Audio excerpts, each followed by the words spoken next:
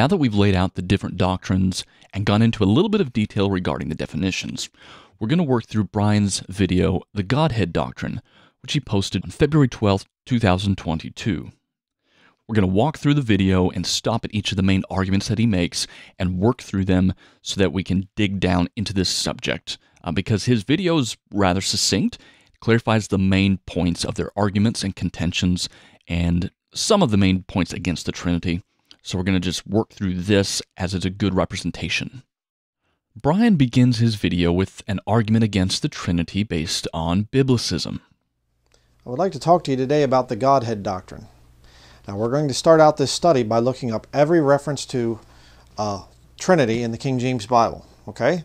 We're going to go over all the scriptures that talk about, that use the word Trinity. We'll say it that way. Okay? Ready? Okay, we're done. Um, next, we're going to go to all the references that talk about the three persons. God in three persons, in other words. Okay? Every reference in, in the King James Bible to three persons pertaining as it pertains to the Trinity. Okay, you ready? All right, we're done. Uh, next, we're going to go to God the Son. Every reference in the King James Bible to God the Son. These are very important terms that prove the Trinity. All right, so let's turn in our Bibles. Actually, it's not because we're done. Um, how about God the Holy Spirit? Okay, um, we're done. And finally, my favorite Trinitarian term of, of them of them all, uh, divine essence. Okay, so we're going to uh, look at every reference in our King James Bible to divine essence because that's very important there to talk about the thing that kind of connects all the members of all the three persons of the Trinity. So divine essence would surely be in there. So let's look it up. Okay, we're done. Uh, if you don't understand my sarcasm there, uh, those words don't appear in the King James Bible. Kind of odd because the most supposedly the most important doctrine of the Christian faith, the Trinity, if you're a Trinitarian, um, and the very key words of your system are not in the King James Bible. They had to be added to the King James Bible. Hmm. Now, since Trinity, three persons, etc., are not in the King James Bible, the Trinity is false. Now, his tongue in cheek statement, these are very important terms that prove the Trinity, betrays his misunderstanding of our reasons for believing this doctrine. Perhaps someone on YouTube or in a church without much theological training is unaware, but yes, those words are not in the Bible. But the assumption that they're in there doesn't form the basis for belief in the Trinity. Thus, to say that the doctrine is false because the words themselves are not in the Scripture doesn't disprove anything at all. His statement that those were added to the King James Bible is likewise untrue. This is Biblicism, yet keep this in mind later when he instructs you to use common sense. If Bryan did any historical theology, he would find that his argument from Biblicism has been used by heretics for centuries and has been properly answered and refuted for the same period of time. Next, we move on to the three occurrences of the word Godhead in the King James Bible. I'll only make some brief comments on each one, uh, but after we go through all three uses, we'll dig a little deeper into this issue. But now let's look up the actual biblical term of Godhead. Go first to Acts chapter 17. Acts chapter 17. We're going to be hitting a lot of scriptures today and going to be moving pretty quickly, so if I get there and I start reading before you can get there, pause the video and catch up to me then. Acts chapter 17, verse 29. For as much then as we are the offspring of God, we ought not to think that the Godhead is like unto gold or silver or stone graven by art and man's device. Now, right here you have a title. All right, a lot of people will say Godhead could also be translated as divinity or godhood. That wouldn't make sense in the context of Acts 17:29. It's talking about the Godhead, right? The biblical name for Jesus Christ, the Son of God, God the Father, and the Holy Ghost. That's the Godhead. It's one person, one being, all right, which we'll be proving in this study. He states that Godhead here is a title, and that divinity, or another rendering, wouldn't make sense in this context because the context is talking about the Godhead, which is the biblical name for Jesus Christ, the Son of God, God the Father, and the Holy Ghost. Of course, the word Godhead is used, but what's the meaning of the word here? Since it says Godhead, the meaning of that word can't be other than the word itself. Then he assumes his own meaning of the term, then says that it can't not mean that because it's talking about the Godhead with his own meaning imported. This is just faulty reasoning. Next, let's go to Romans chapter 1. We'll look at the next reference to the Godhead. Romans chapter 1, verse 20 through 23. For the invisible things of him from the creation of the world are clearly seen, being understood by the things that are made, even his eternal power and Godhead, so that they are without excuse. That's where they'll come in they'll say, well, it could be divinity or godhood or whatever. But God has it in his perfect word, the King James Bible, as Godhead. And you say, well, I don't, I don't believe the King James Bible. I believe it's the Greek or the Hebrew. Okay, then use the Greek or the Hebrew. You stupid hypocrite, you. All right, if you're going to hold to using the King James Bible and calling this book God's Word, then it has to be perfect. Otherwise, your God can't write a perfect book. Think about that one. Verse 21 Because that when they knew God, they glorified him not as God, neither were thankful, but became vain in their imaginations, and their foolish heart was darkened. When they knew God, a past tense event, they glorified him not as God. Why was Jesus Christ executed on the cross? Why was he crucified on the cross? Because he they considered him to be a man and he was making himself to be God. And they're saying this is blasphemy. When they knew God, they glorified him not as God. You see? Verse 22 Professing themselves to be wise, they became fools. Every Trinitarian fits that verse. And changed the glory of the uncorruptible God into an image made like to corruptible man Jesus the Son over here, God the Father over here, and to birds. How about that? And four footed beasts and creeping things. Jesus the Son, like this, and they got God the Father over here. You know, he has his little ball or whatever he you know likes to play with. And then you have the Holy Spirit, the dove, above them, floating there. And he's making his little divine essence, you know, spray out on them or whatever else. Tingle showers or something like that. I mean, if you've seen one of the videos I did about the uh, Mennonite tingle showers. I think it's on the secondary channel. Uh, no, that's a teaching that's far into Scripture. It's not two men and a bird. That's not the Godhead. That's a pagan trinity, a pagan deity. The question isn't whether Godhead is correct or not here, but what does the word mean? We'll cover the horrid exegesis later on, but I do agree that these Roman Catholic depictions are blasphemous and represent a fundamental misunderstanding, at the very least, of the doctrine of the Trinity.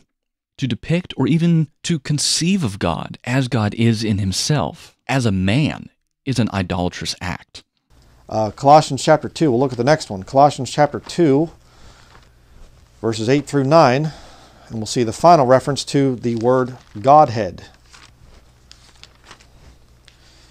Um, well, you need to respect my beliefs because I'm a Trinitarian. Your beliefs are wrong. If you believe in the Trinity, your beliefs are wrong, and you need to submit to the Word of God, the King James Bible. Your word Trinity is not in here. Your word three persons, plural persons, is never in here. Never once is it a reference to God. I should say it that way. It's persons is in there, but it's never once a reference to God, the Godhead, ever. Okay? Uh, so your speech should line up with the scriptures. There's no God the Son in here or God the Holy Spirit, that title. Again, we have Biblicism being used as an argument against the doctrine of the Trinity. And again, since we don't believe the doctrine because of the presence of those words, it isn't disproven by their absence. Now, the doctrine of the Trinity predates the King James Bible. Christians believed it well before the English language. So, again, using a standard which didn't exist then to disprove something believed then is anachronistic and ultimately fails. Better would be to interact with the actual arguments and doctrinal standards to disprove the doctrine, or at least try to disprove the doctrine. There's no divine essence. Your system is based on lies. Colossians chapter 2 verses 8 and 9. Beware lest any man spoil you through Trinitarianism, I mean, excuse me, philosophy, Trinitarianism, and vain deceit after the tradition of men things that are added to the scriptures are traditions of men. Bryan says that there is no divine essence and your system is based on lies. Now, he is merely saying that divine essence doesn't appear in the King James Bible as such. But the divine essence is what God is, it's the whatness of God. The essence of Paul, John, and Luke is humanity. The essence of God is deity.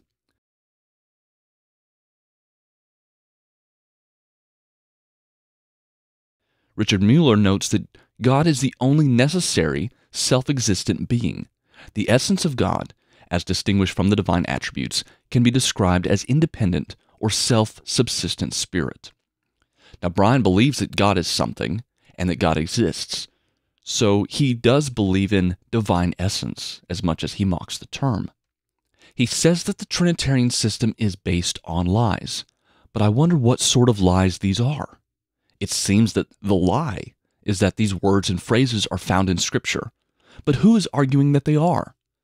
If all you interact with are YouTube comments and books, but ignore what the books are actually saying, you might think that's true. But the real lie is that Trinitarians believe the doctrine because they think those words are in Scripture. Now, I know of no one who would say such a thing. It's the meaning of Scripture we are after, not the bare words and phrases. This is similar to receiving instructions on baking a cake, but the instructions never explicitly say the end result is a cake.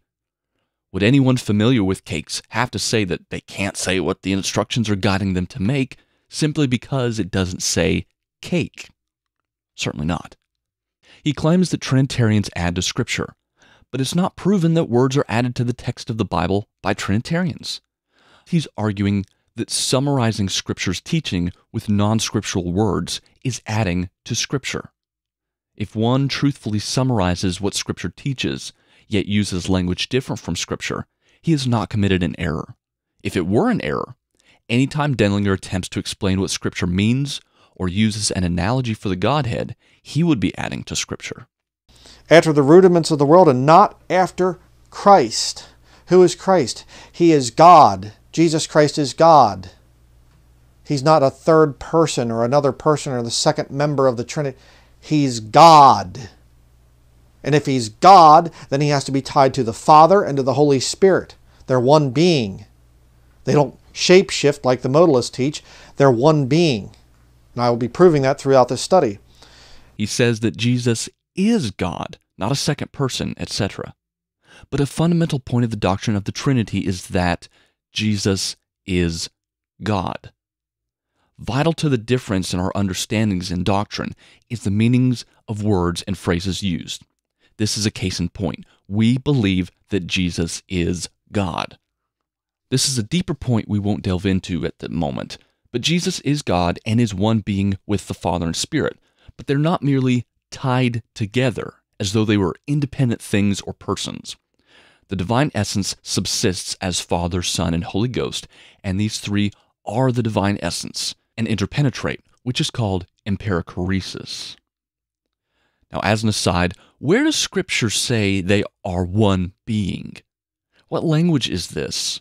Where is this statement found in the Bible? Not after Christ, verse 8, and verse 9, for in him, in context, it's Christ, dwelleth all the fullness of the Godhead bodily. When Jesus Christ was walking around on the earth, he wasn't somehow the Son and Daddy's up in heaven someplace and they're separate persons and whatever else. No, the Father is in heaven as the soul, but he's also in Jesus Christ at the same time. We are seated together in heavenly places in Christ Jesus right now if you're saved. So we have a connection to heaven as well, just like Jesus Christ did. Right? Now, he's correct when he says that during Jesus' earthly ministry, he and the Father are not separate persons. His estimation that the Father is omnipresent is partially correct. John 3:13 says, "No man hath ascended up to heaven, but he that came down from heaven, even the Son of man, which is in heaven." Note that Jesus does not say, "My soul which is in heaven," or "my spirit," but "even the Son of man which is in heaven." Now, as Jesus himself is God, and God is omnipresent, Jesus is omnipresent. But in the Godhead there, Jesus Christ is the Godhead. He is God manifest in the flesh. And if you come out as a Trinitarian and say, no, that's not true, he's him and the Father, they're two separate persons, you're a blasphemer. You're a heretic. And a lot of people are confused on the Trinity issue. I will grant you that. Right? It's very confusing when you look at it and you say, wait, okay, there's three separate persons, but there's not three separate gods, but there's God the Father, God the Son, God the Holy Spirit, and they're not the same, but so they're not separate gods, but they're all the same God, yet they're not the same person. What? It's confusion. God's not the author of confusion. People are confused about the Trinity. But that's why I'm doing this study. That's why I wrote my book right back here, The Godhead Doctrine. We'll be talking about that throughout this study. Bryan says that there's confusion in Trinitarianism and on the part of many people that have a very basic understanding, misunderstanding of the doctrine of the Trinity. That's correct. But it seems the main confusion is in his understanding.